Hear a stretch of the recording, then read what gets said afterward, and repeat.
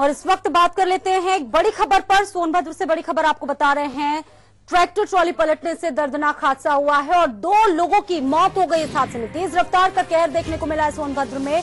Tractor पलटा है, दो लोगों की इस हादसे में मौके पर ही मौत हो गई है। बड़ी खबर, सोनभद्र से आपको बता रहे हैं घटना स्थल पर बड़ी संख्या में पुलिस फोर्स मौजूद है। सोनभद्र का ये पूरा मामला है। म्योरपुर थाना क्षेत्र इलाके की घटना। बड़ी खबर सोनभद्र से आपको बता रहे हैं। तेज रफ्तार का कहर यहाँ पर देखने को मिला है। ट्रैक्टर पलटने से दो लोगों की मौके पर ही मौत हो गई। घटनास्थल पर पुलिस के आला अधिकारी भी पहुँच चुके हैं। तेज रफ्तार का कहर यहाँ पर देखने को मिला है। म्योरपुर थाना इलाके की घटना है। बड़ी खबर सोनभद्र से आपको बता रहे हैं।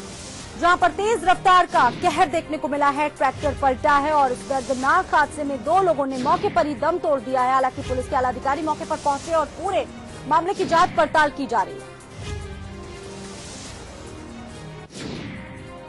म्योरपुर थाना इलाके की घटना है, जहाँ पर सड़क हादसा हुआ है और इस सड़क हादसे में दो लोगों ने अपनी जानें गंवाई हैं। तेज रफ्तार का कहर। एक बार फिर से देखने को मिला है सोनभद्र में। ट्रैक्टर पलटने से दो लोगों की मौके पर ही मौत हो गई है। पुलिस के आला अधिकारी मौके पर पहुँच चुके हैं। म्योरपुर थाना इलाके की घटना बताई जा रही है, जहाँ पर यह सड़क हादसा हुआ है। तेज रफ्तार का कहर देखने को मिला है। दो लोगों की मौत हो गई है मौके पर ही। सोनभद्र की घटना। है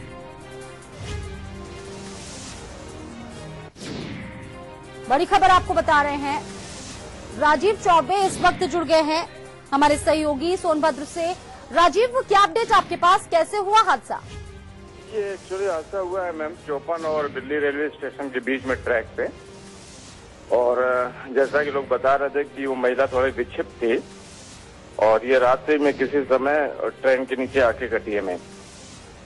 बहुत बहुत शुक्रिया राजीव इस तमाम जानकारी के लिए आपका। तो दो लोगों की इस हादसे में मौत हो गई है। ट्रैक्टर पलटने से हादसा हुआ। है